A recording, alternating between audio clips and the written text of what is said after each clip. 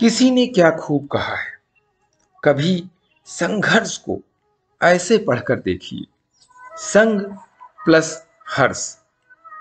बस फिर दुनिया बदल जाएगी। नमस्कार दोस्तों, मेरा नाम प्रेम प्रकाश पांडे है।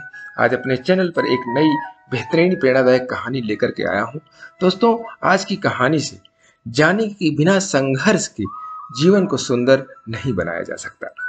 तो चलिए चैनल को सब्सक्राइब नहीं किया है सब्सक्राइब कर लीजिए और सुनते हैं आज की कहानी जिसका शीर्षक है, संघर्ष का महत्व।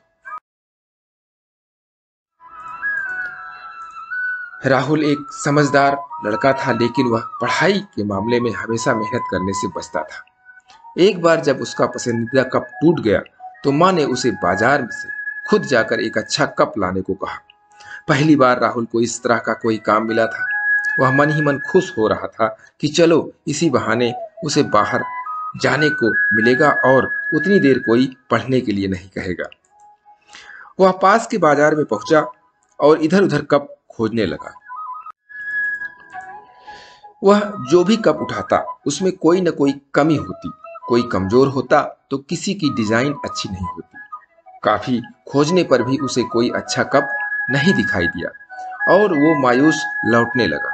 तभी उसकी नज़र सामने की दुकान में रखे एक लाल रंग के कप से जा टिकी। उसकी चमक और खूबसूरती देख राहुल खुश हो गया और झट से दुकानदार से वो कप हाथ में लेकर देखने लगा। कप वाकई में बहुत अच्छा था। उसकी मजबूती, उसकी चमक, उसकी शानदार डिज़ाइन हर चीज़ परफेक्ट थी।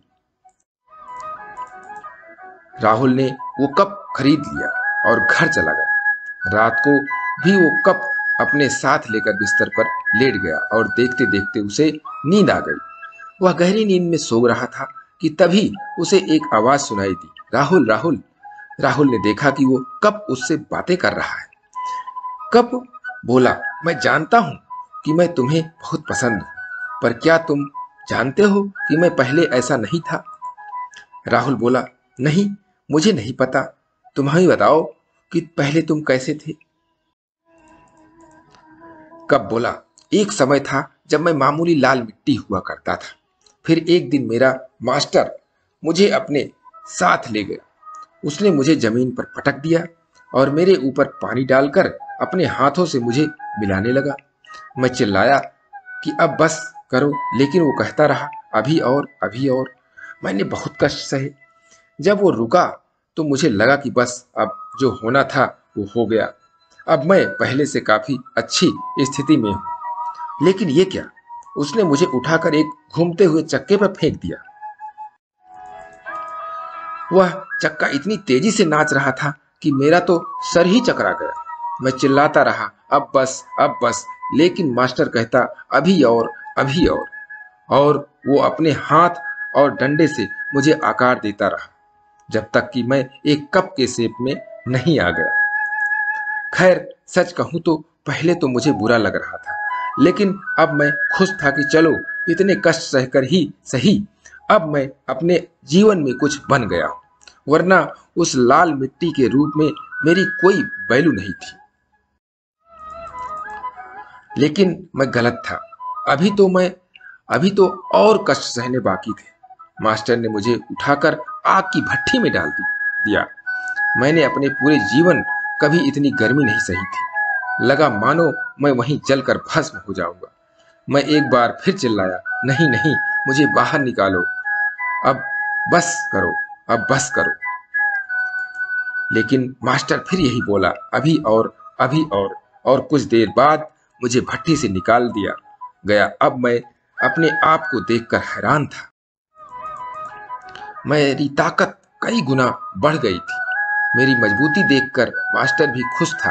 उन्होंने मुझे फ़ौरन रंगने के लिए भेज दिया और मैं अपने इस शानदार रूप में आ गया। सचमुच, उस दिन मुझे खुद पर इतना गर्व हो रहा था कि जितना पहले कभी नहीं हुआ था। हाँ ये भी सच है कि उससे पहले मैंने कभी इतनी मेहनत नहीं की थी। इतने कष्ट नहीं सहे थे। लेकिन आज, जब मैं अपने आप को देखता हूँ तो मुझे लगता है कि मेरा संघर्ष मेरी मेहनत बेकार नहीं गई। आज मैं सर उठा कर कर चल सकता हूँ। आज मैं कह सकता हूँ कि मैं दुनिया के सबसे अच्छे कपों में से एक हूँ। राहुल सारी बातें बड़े ध्यान से सुन रहा था और जैसे ही कप ने अपनी बात पूरी की, उसकी आँखें खुल गईं। आज सपने में ही सही राहुल मेहनत का महत्व समझ गया था। उसने मन ही मन निश्चय किया कि अब वो कभी मेहनत से जी नहीं चुराएगा और अपने टीचर्स और माता पिता के कहे अनुसार मन लगाकर पढ़ेगा और कड़ी मेहनत करेगा। तो दोस्तों, इस कहानी से हमें कड़ी मेहनत करने की सीख मिलती है। फिर चाहे वो पढ़ाई हो, खेल हो या कोई और चीज़, आपने सुना भी होगा, कड़ी मेहनत का कोई विकल्प नहीं है। इसीलिए अगर आप अपनी लाइफ में सक्सेसफुल होना चाहते हैं तो कभी हार्ड वर्क से पीछे मत हटिए।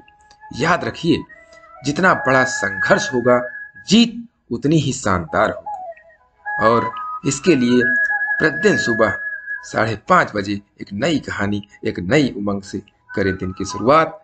तब तक के लिए छोटों से मिले प्यार और बड़ों से मिले आशीर्वाद और भगवान के सहारे के साथ यही कहूँगा, काम तो सभी करते हैं, पर काम करो कुछ ऐसा कि उदाहरण बन जाए। ये छोटी सी स्टोरी आपको अच्छी लगी तो लाइक कीजिए शेयर कीजिए अपने इस मित्रों में भी और कमेंट्स ज़रूर करिए।